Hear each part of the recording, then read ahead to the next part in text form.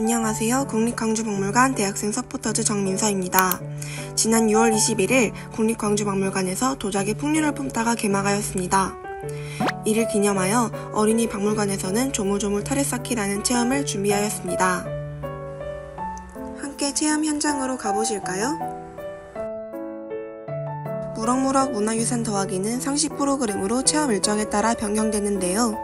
지난번에는 도자기 무늬를 담은 핀 배지를 진행하였고 이번에는 도자기 풍류를 품다 전시를 연계하여 조물조물 타리쌓기라는 프로그램을 진행합니다. 타리쌓기 프로그램은 초등학생을 대상으로 회차당 4명씩 현장에서 선착순으로 받고 있습니다. 그럼 타리쌓기 기법에 대해 알아볼까요?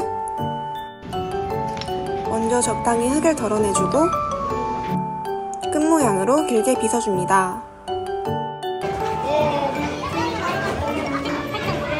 컵을 만드는 데 있어서 풀 같은 역할을 해주는 물을 컵 바닥 가장자리에 묻혀줍니다. 그리고 가장자리를 둘러가며 눌러붙입니다.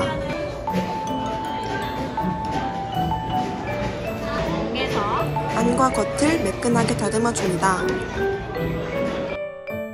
마지막으로 손도 깨끗하게 씻고 사용한 자리도 정리해 주세요.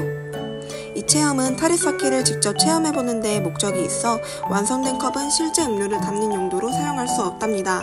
멋진 작품으로 좋아하는 공간에 전시해주세요.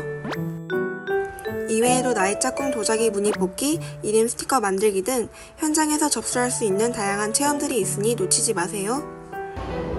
오늘은 어린이 박물관의 체험 프로그램인 조물조물 타리쌓기에 대해서 소개시켜드렸는데요.